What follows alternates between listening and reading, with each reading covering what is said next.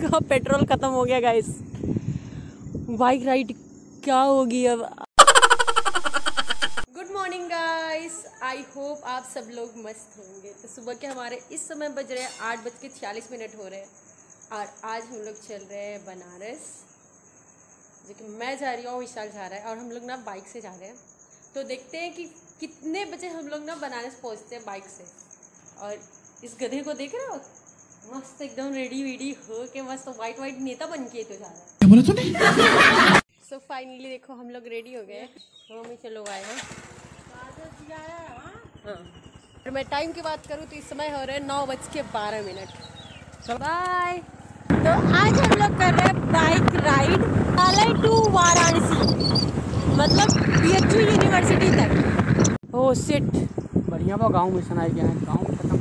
By God रास्ते में ही bike का पेट्रोल खत्म हो गया गाइस बाइक राइड क्या होगी अब? अभी तो मुख्यालय ही पहुँचे थे। कुछ कुछ कुछ ये देखो मुख्यालय का ही सीन है ये।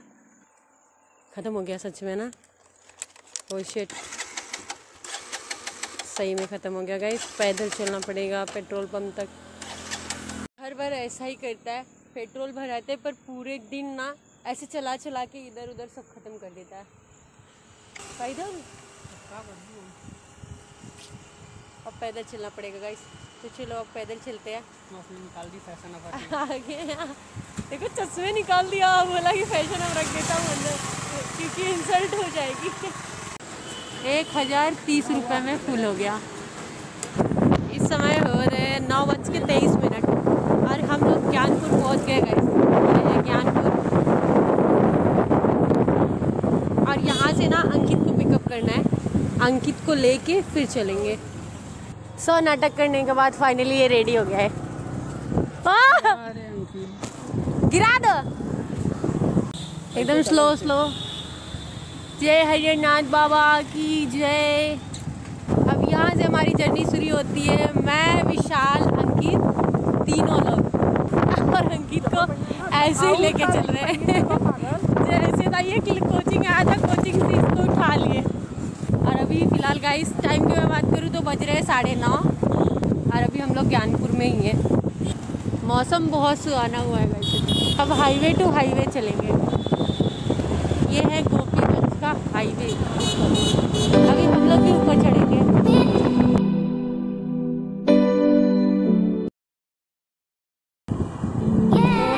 लाला नगर।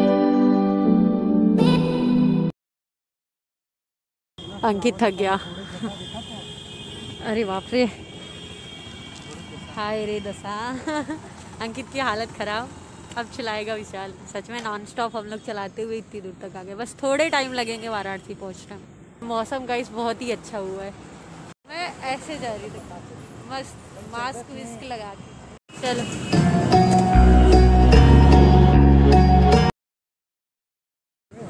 बारिश की वजह से रोड रास्ता सब खराब हो गया ऐसे तो। पता नहीं ये गड्ढे कब सही होंगे।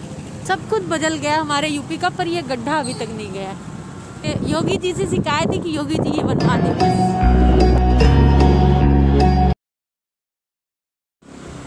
ये बनारस की हालत है गाइस देखो।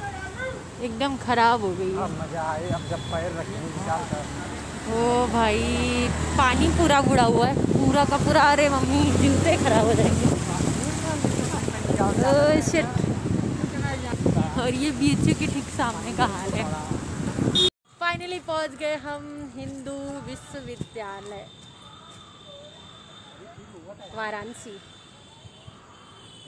और मैं टाइम की बात करूँ गाइस ना तो इस समय हो रहा है ग्यारह बज के छः मिनट। करेक्ट टाइम हो रहा है।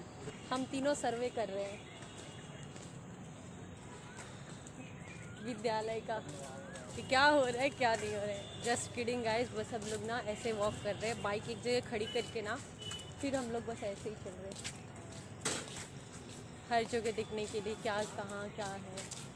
बस अभी। और इन लोगों का, देखो, इन लोगों का अलग ही खिचड़ी पक रहा है।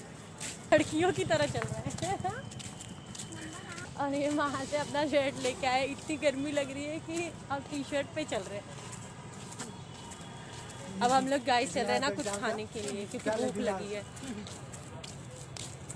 ये लोग बस बस इन लोगों का यही चालू है। छोले भटूरे। यही हम लोगों का फेवरेट है। जब भी हमारा आंटी आते हैं तो छोले भटूरे ज़रूर खाते मेरा और अंकित का हो गया बाकी और इंसान का चालू ये लोग मुझे पैदल पैदल लेके चल रहे हैं गाइस देखो। ऐसे भाई होने चाहिए। ये लोग भाई नहीं, मुझे, मेरे, मुझे लग रहे ये लोग मेरे दुश्मन है। कड़ी की धूप हुई, ये लोग मुझे पैदल लेके चल रहे देखो, खुद ओढ़ लिया। मैं तो कुछ ओढ़ी भी नहीं हूँ। साल का सारा काम हो गया गैस और अब हम निकल रहे हैं घर के लिए। और टाइम की मैं बात करूँ तो बज रहे हैं एक बज के अड़तीस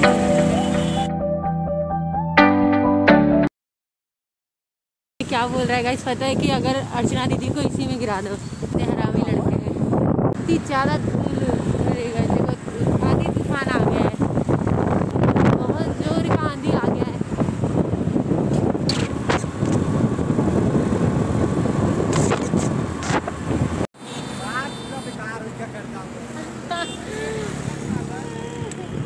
गाइस अब यहाँ होगा ना फ़ोटो शूट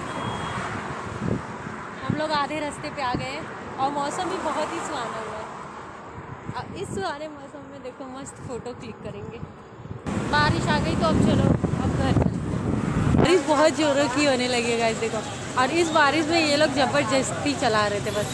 कंटिन्यू चलाते जा रहे थे, चलाते जैसे खोथड़ा वालों।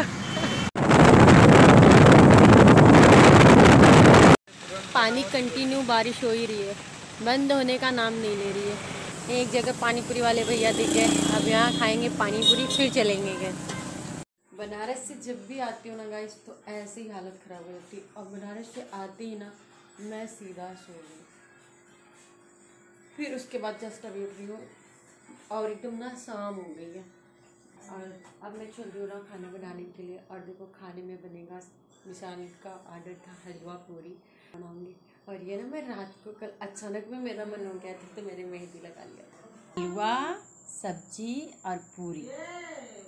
तो मस्त खाना पीना हो गया है हमारा और रात के बज रहे हैं इस समय नौ बज के अड़तालीस मिनट हो रहे हैं। तो मैं चल रही हूँ फ़िलहाल वीडियो एडिट करने के लिए और आज की वीडियो ना मैं यही भी ख़त्म करती हूँ। आई आज की वीडियो आपको पसंद आई होगी, वीडियो पसंद आई होगी तो लाइक करिएगा। चैनल को सब्सक्राइब करिएगा कमेंट करना बिल्कुल मत भूलिएगा। तो मिलते हैं नेक्स्ट वीडियो में, तब तक के लिए bye bye and take care